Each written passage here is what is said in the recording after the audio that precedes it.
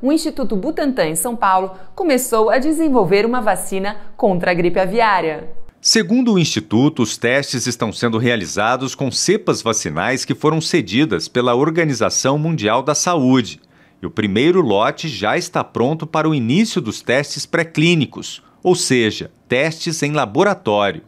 O Butantan informou que a vacina começou a ser desenvolvida devido à preocupação de que ela possa se tornar uma nova pandemia.